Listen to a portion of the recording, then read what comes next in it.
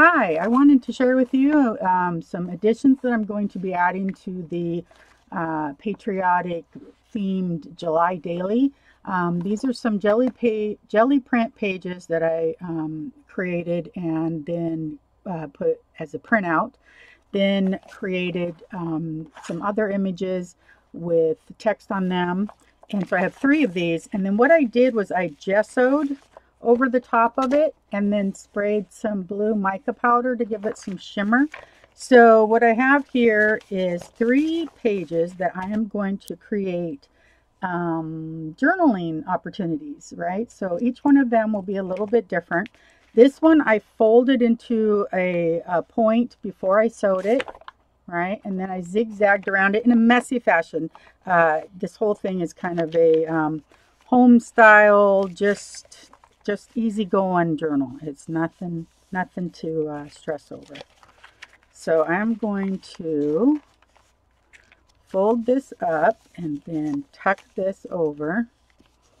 And then what I'm going to do, now you see that I took an 8.5 by 11, but it was trimmed down because I had a edge on there from my printer. And um, what I want to do, I'm trying to decide. That bird won't do it, but there was another item that I had. So what I found is a piece of red cardstock shimmer, uh, color on both sides, not that that matters. I found this sticker in the things that I collected up to uh, have opportunities to decide to use into this journal. And this says live, laugh, and love in red. So what I'd like to do is put this on top of here, right? Now, the thing is, is to make this work the way I want it to, I need to attach this to where just the edge of it will go over my point so that it can be a little closure, right? So right about there. So what that means is that the top of this needs to be attached in some way. Um, stapling would be good, but I won't be able to get my stapler um, to the center. So I'm going to glue this down. Show you right here. About halfway. Right? So I'm going to hold that there. Make sure that it's covering that enough to keep it closed because that's the point of it. And then I'm going to look for a clamp I'm not sure if it'll go in far enough, but it will at least keep it where I want it now. I'm going to take and I have a little bit of glue coming out of the edge, so I'm just going to scrape that off. There we go. So now we're going to let that one dry. We'll talk about the other ones. Okay, so that's one way to create it and uh, close it and have the little doodads. It will also be able to be decorated more and or done other things with. Um, let's do work on this one. This one, let's go ahead and cut off the threads. Just wanted to add a little bit of texture to my project by sewing on it. Not all of them needed. Okay, so what I wanted to do I didn't want that point to be quite so big, so I'm going to try to figure out a way, but I'm not sure. I think if I fold it over like that, and then like this, I can create another there we go. So that's what I'm looking for. Just another way. So now we would need another closure type area here. Oh, closure type. So here's the journal that we're working to put things into right there. Um, we ha I have other shapes that I could work with, or I could work with um, I, you know, there's always the idea of magnets. We skip the extra work. So let's do that. Let's make sure it will work well with our print. Wow, it's a lot of loud stuff.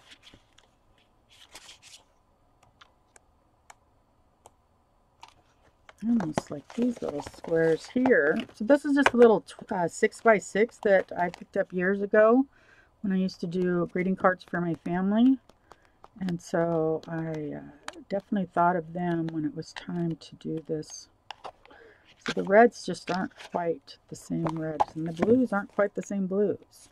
Just, just not. But I wonder if I could make, I think I could make this one work. I could even cut the tag out of this, but now that I've cut it out, it'll be harder. So let's see what we can do. Yeah, I could cut that in half even.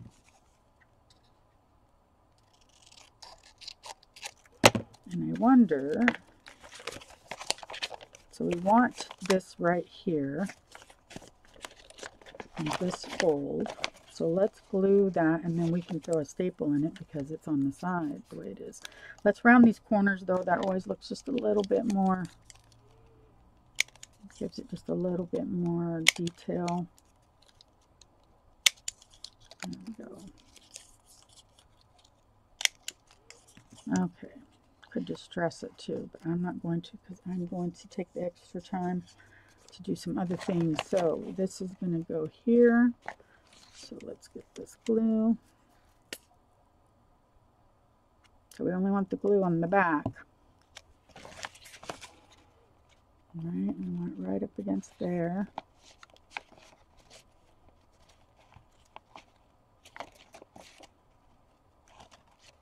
And I'm thinking that we can still staple the bottom easily. Just a nice little secure staple in there. Let's go ahead for the sake of drawing that we do this. Go to the next one. Then we'll come back to those in a minute. Now the other one we're not going to worry about doing the fancy folding at all. As far as having anything to close it. It's just those are fun to do. And I always forget about them until I see someone else do them. And I'm like, oh, that's right. Just that little added bit of effort brings it to a whole nother level. Okay, so this one we will just fold in fourths. And then this will go into a tuck spot, but we got to figure out. I think I like this would be the front. All right. Okay, so this would be the front and you could go like that. So now what I was thinking about doing with these, and I don't know if I want to do it on the inside or the outside, but I grabbed the stuff I would need to do a 2020 on here, or just 20. 20 would work. Let's just try 20 for now. Uh, no sense trying to line up uh, everything and getting it done perfect all at once. So I have a brand new one of these. And I was thinking about using the VersaFine.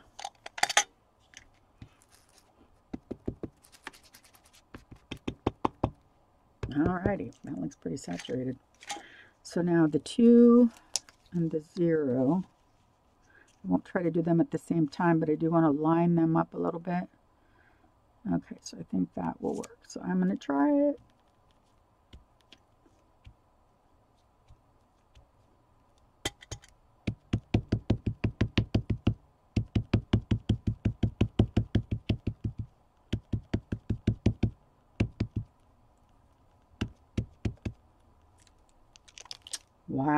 Guys.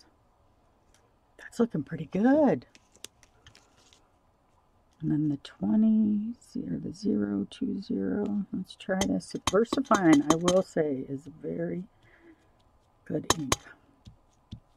And my topper, or my uh, ink pad is still in good condition. If they're getting older, they won't transfer the ink as well. Alrighty. Wow. Wow, wow, wow, right? Okay, so that's an option for doing on the inside too. And then there's also um, stamping and stenciling and all of this. But um, this one in particular, wow, I really like that. That is so graphic. It worked out so well. Almost looks like velvet, you guys. That's awesome. So let's say I take this out, right? And I want to journal on it. So I have, um, I'm going to test this pen out. To see what would happen. This white pen does make a mark on it, but I wouldn't try to write with it. So that would leave you with, um, I wouldn't use micron pens. That's the only thing I wouldn't use, but uh, most pens would work fine over top of the gesso is what I've been told. I've used it before and it's worked fine. So, um, or stamp. The rose, I have a rose stamp that um, I probably put away. No, I didn't. It's right here. Thank you. Sorry. So this is on some of the um, images inside of um, another journal I'm doing, but a rose, it would be perfect for me because Portland is the rose city. So Portland, Oregon is considered the rose city, and we'll just put a black rose right there. Oh, wow. Oh, wow. And then could you imagine your journaling right here in a nice black? Beautiful. Okay, so there's one journaling opportunity, okay? Then this next one, this is pretty well dry. You pop this, this tip point out and you fold it out. Now, let's do something similar because it looked so well over there. But let's put the 20 in here. And maybe we'll put the rose on the outside of that one. Plenty of room. Okay, so I'm going to do this again. If you haven't tried VersaFine ink, you definitely should. I think it needs to be over a little bit. And I'm tapping, not rubbing. And the reason being is that I will have more opportunity to shift my stencil around if I try to if I try to rub. Whereas if I just tap, it seems to go well. Okay, so there we go. Now set that aside, bring the 20 here. Put that right next to it.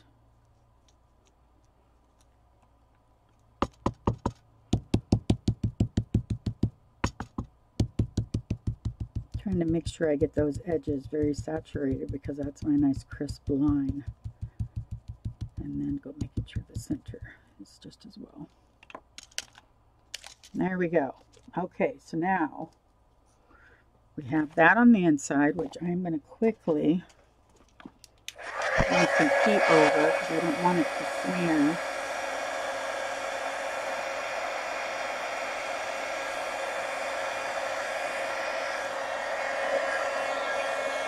I would be sad, do all that work, have everything look perfect, and then fold it up to see where I want to put the other stuff. I think I want to put the rose right here. So that's what I'll do. Take the rose, stick it in again. Try to center it as best as I can. There we go. Okay, so this is the other journaling opportunity. It has been sewn, folded up, has a closure, has a rose. You could do so much more with it, but that's what I've done uh, with it today. And then this one, we'll get this off of here. And we haven't uh, stenciled or done anything. We've only folded this one. There. That's what we've done so far. Now, the cool thing about this, I think, let's do this The cool thing about this one, once it's all going to get down and flattened and really in its in its way, is is that we could add a smaller uh, tag right there. All right, so this could be this could be just layered up like crazy. That was my plan. There we go. Now I printed this out on gray so that it wouldn't be drastically white, you know, it would have. And this could be another tuck spot. I think I might do that just because I can. I mean, I don't need one there, but if I wanted to put something there, I could. So let's do this. layer that on there so that holds it. And then if we wanted to, which I'm going to end up having to make some, some smaller tags, but let's say something, you know, look how that'll fit in there. That will work really well. So we'll let that one dry.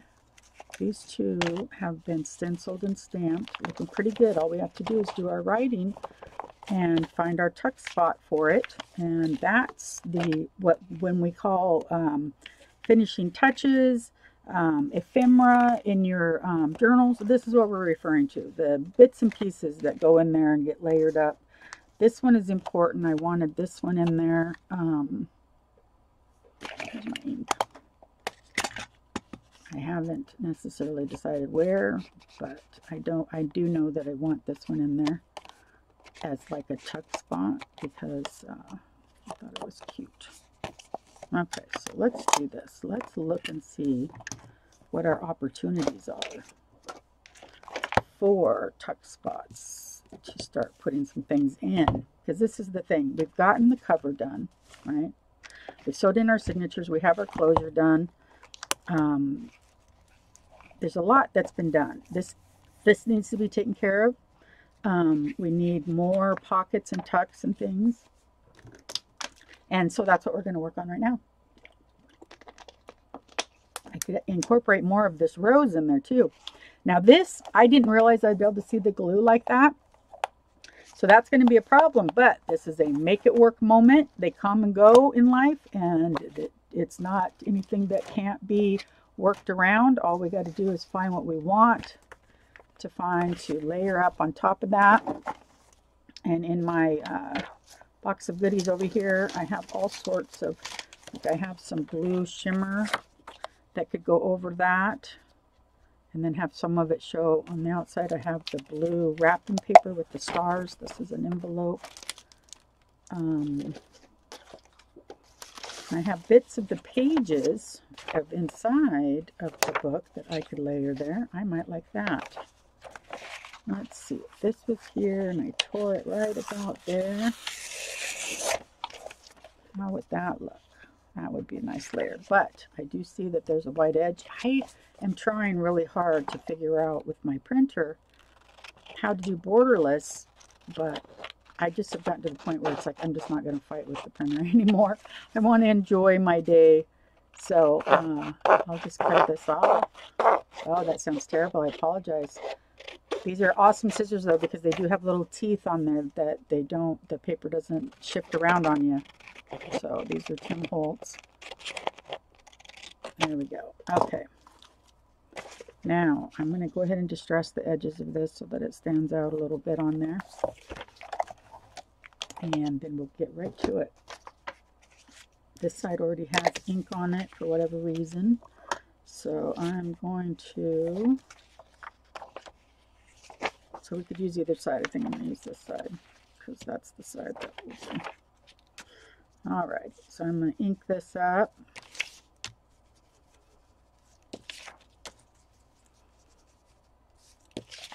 This is a page of the um, digital kit that I have at melodimade.com. It's a uh, patriotic blues, reds, and whites. Some jelly prints some digital altered prints. There we go. There we go. So let's put this up here. And this one, the glue won't show through. So we can go ahead. That paper in the back, the stars, is deli paper.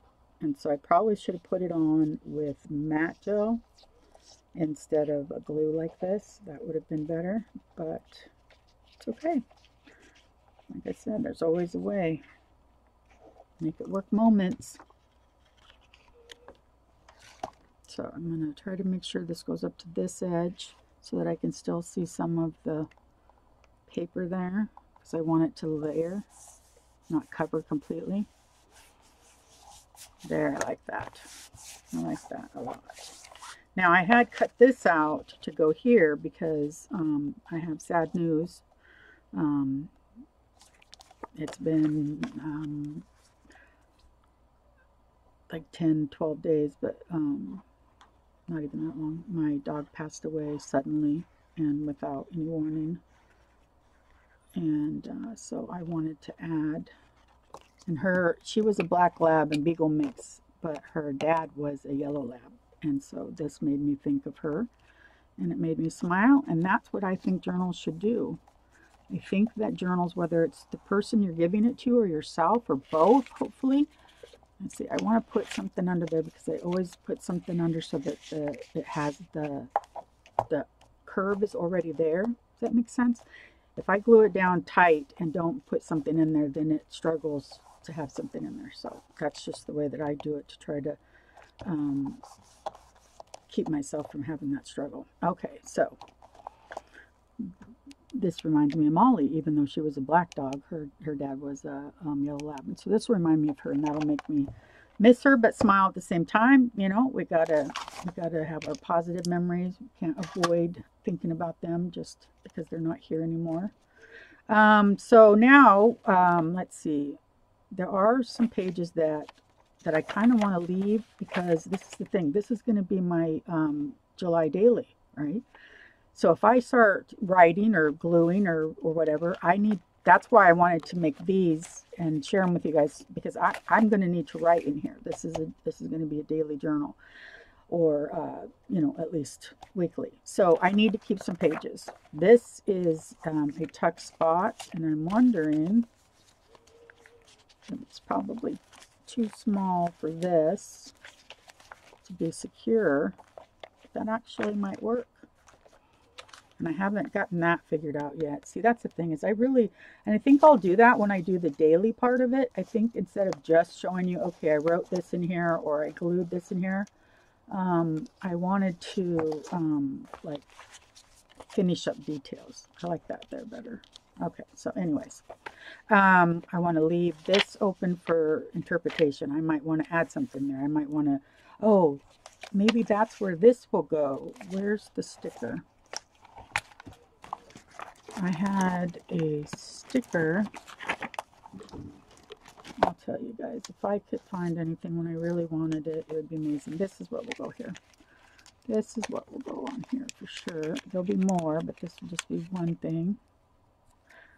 This page would have been really the only page that this color would have worked with because of the jelly printing. There was some variations of the blue.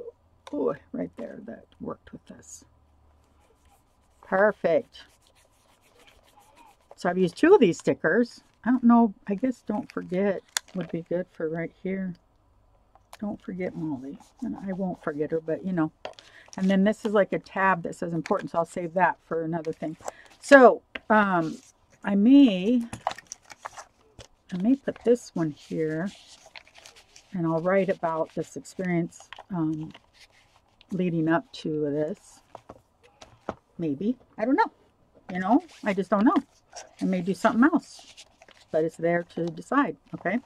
So I've had the word July on there. It's all just the thought process that goes into things. That's that's what I'm sharing more than anything. Um, and then this page I'm not truly excited about. And this would pop really well over here. So let's add something here that would make it a tuck spot for that. So to do that, what I can do is grab, oh, and I have, I have these that I need to incorporate, but I'm not sure that I can make them a tuck spot, so I'll have to really think about that. Have to think, think, think it through. Now, this is another thing that I wanted to incorporate, and this might be an okay spot. Let's see. I needed to get this eagle, but I don't know. I don't know. I kind of like this over here. I don't know. Not going to stress about it. Give myself freedom to think about it and not pressure myself into just trying to finish it. I'm looking over here for a um, a punch. This one, let's see if we like how this looks. It may not be the style that we're wanting, but it's a beautiful punch. Okay, what did I do wrong? Did I do something wrong? There we go. That's what I'm looking for. That's what I'm talking about. That click. That's what I needed.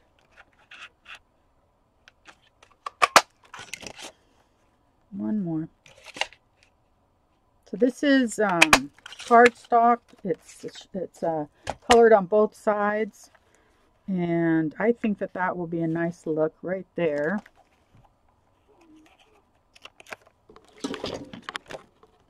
Let's see if I can pull the camera over. Um, to have a little tuck spot. And the cool thing about this is I can glue it and staple it because of the way this is set up. So it'll be very secure. So I'm going to do the glue. Actually, I'm going to round these corners because that just is going to bug me. Pet peeve, OCD, whatever you want to call it. Come on, glue. Let's see, right there.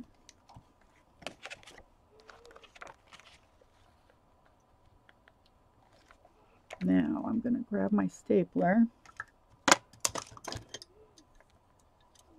and I'm going to staple there.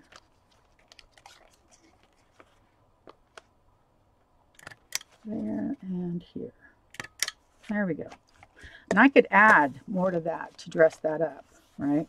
I could, uh, like on here where we have some rhinestones, some trims, some things, I could do that. And I probably will. But my most important thing right now is I need somewhere, and I think I'm going to close off these edges.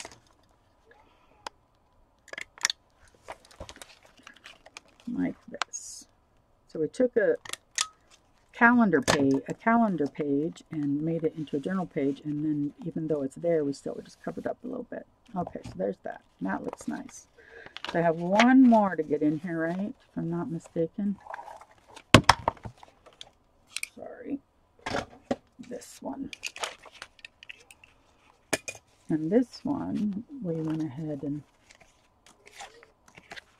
put a tuck spot here for a small one. And we knew that we could do a tuck spot here for a small one. So I'm like, I need to make about three or four tags that are half the size of these for that kind of thing. And then I'm wondering, this would probably be best, maybe uh, this would be best put in with a clamp. So let's find, we have a fab or a scarf here, fabric, um, the little apples. Let's do this one here, or here. This will give us, so instead of um, putting that in a pocket, we're going to clamp this one on in here. And then we I can uh, make a charm for this like what I have here but not as big and large. This one's made for this but I haven't uh, gotten it in here yet. I don't know um, here's a fun tab oh. I put in my Corona reference to Corona there we go there we put the um, heart in and this is just so big. It really is. It's one of those things. And then this is the bonus part of the video um, that I did last that's on my, my Corona page. Um, this is a bag that I can put receipts and things in to save. And then this circle tuck right there, which this might be, I don't know if that'll fit. Will that fit? It will. That's what I'm going to do. Because this is such a strong page right here because it's one of the covers. I'm going to do that. And that will just tie that all together. I don't know if that'll stay in there. That really needs to be like on a tassel or something. Speaking of tassels, that's what's going to be in the next video. But I want to say thank you so much for jumping in and watching this with or uh, watching me get this put together. And I want to um, encourage you to um, do some things out of the box or try something new and then tell me in the comments how it went because I would love to hear about it.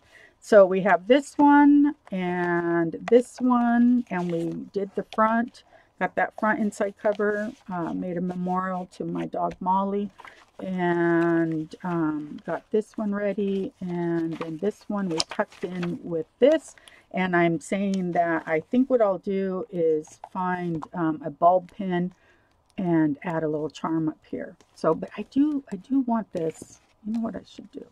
Let's see if we can do this. We don't know, but we'll try. But you know what? We don't know until we try. So that's that's the kicker. That is the kicker, is just keep trying. So let's try this. Here's a scrap. This looks good there for now. Just so it has something I just, because I wanted something there. So, thank you ladies, and I will see you in one more video about this because what I really want to do is finish up as much as I can because uh, I'm going to be starting um, videos on uh, actually uh, using this, right? So we got to get it done. Got to get those spots in there. Now I did uh, grab some pens in case I wanted to um, write in here anything. Let's see. This one could be distressed. I don't know. I, my writing is, I'm not necessarily proud of my writing, but let's see, not the front, but the back. Let's say that we write on here, this journal is a collab with Sarah. And um, this would be July 2020. Perfect. So that way, and this is some new pens that I got. This way, um, I won't forget. And if I punch the hole in it, which little bit out of my reach. But if I go ahead and punch the hole in here, I can add add some um, yarn or tassels or something to it. And then I think I'm going to have to cover up that front now because the, the pin went through it, but that's okay. Not a problem. Not a problem. So there we go. So there's the what this journal is for.